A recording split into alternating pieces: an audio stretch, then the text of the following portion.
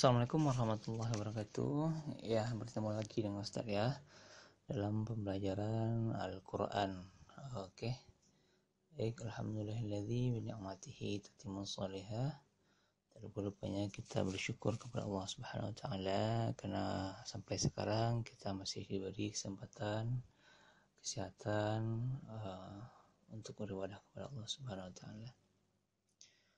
Baik ya, uh, Minggu sebelumnya kita juga juga bahas tentang mat ya.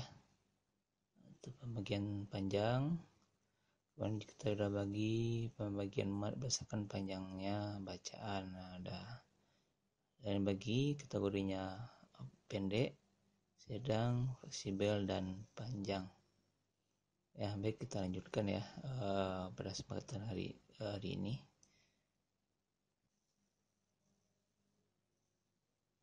Nah, sekarang itu mat yang kategori panjangnya pendek yaitu satu alif atau dua harkat atau satu ayunan suara.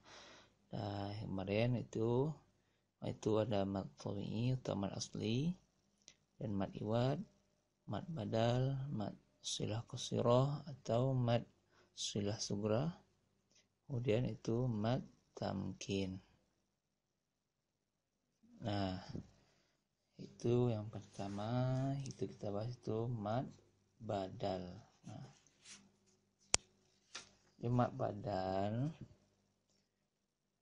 ini merupakan uh, apa namanya um, mat pengganti amzah atau dengan kata lain apabila amzah bertemu dengan huruf mat ya huruf mat apa? Itu alif ya sukun dan waw sukun Nah, ini kalau diuraikan ya, diuraikan asal katanya. Itu apabila dua hamzah yang berkumpul dalam satu kalimat, maka hamzah yang kedua diganti dengan huruf yang sesuai dengan harokat pertamanya itu nih. Kita ganti dengan tanda mat. Ketika ini kata dasarnya a, maka kita ganti hamzah kedua yang keduanya itu dengan tanda panjang a mana. Itu juga ini kita ganti utu kemudian ini juga imana.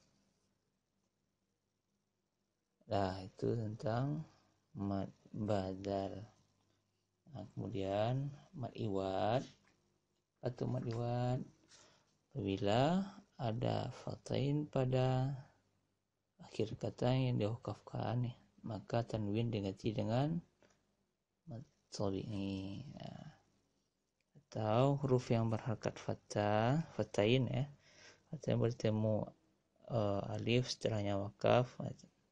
Atau ini berlaku itu ketika untuk kita wakaf.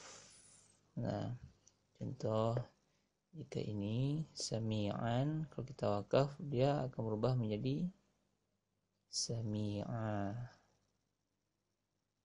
Jika kita uh, begitu juga begitu juga dengan ini aliman kalau kita berhenti berubah menjadi alima karena setelah itu ada alif ya. Itu kita berwakaf. Itu tentang mad iwat nah kita lanjut. Yaitu mad silah qasirah atau mad silah sughra Nah, ini mat ini apabila ada huruf domir berharkat kasrah atau dhammah ya, sebelum dan sesudahnya bukan sukun ya. Dan juga setelahnya tidak bertemu amzah. Nah ini maka akan dibaca panjang dua harkat. Nah contoh innahu innahu bi'ibadihi khabir kecuali ya kecuali kecuali ini ada pengecualiannya hal ucap pendek karena sebabnya hak domir atau huruf mati yang dibuang menjadi syarat yang berupa wawu yaitu pada kalimat ini. Kemudian hak dibaca panjang karena tauqifi ya menurut Imam Hafs itu ini ini ada pengecualiannya ya Nah, kemudian dibaca pendek karena bukan hadomir.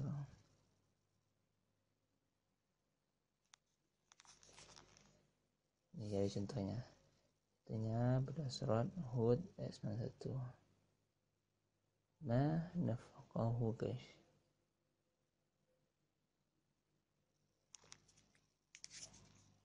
Itu nanti bisa lihat ya ini ya. Kemudian itu selanjutnya itu ada mat tamkin. Nah, tamkin artinya menetapkan. Itu apabila ada dua huruf ya bertemu dalam satu kata sedangkan ya pertama bertasydid dan berhakat kasrah dan yang kedua bersukun oh, atau mati. Contoh ini. Ini akan dipanjangkan dua harakat contoh huyitum ummi nah wan nah seperti itu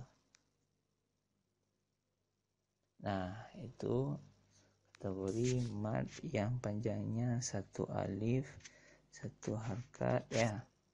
Eh satu alif atau dua harkat atau satu ayunan suara. Nah ini dia ada mat tabi'i atau mat asli ada mat iwad ada mat badal ada mat silah qasirah atau mat silah sugra atau kemudian mat tamkin. Nah uh, sampai di, di sini dulu ya pertemuan kita hari ini. Jangan lupa uh, antum untuk selalu menjaga kesehatannya uh, utamakan protokol kesehatannya kemudian menjaga imun menjaga iman dan jangan lupa ya teman-teman untuk tilawah di rumah ya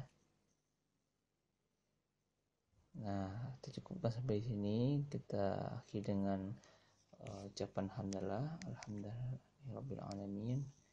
Kemudian doa ghafratul majlis, subhanaka Allahumma bihamdika asyhadu an la ilaha illa anta astaghfiruka wa atubu ilaik. Assalamualaikum warahmatullahi wabarakatuh.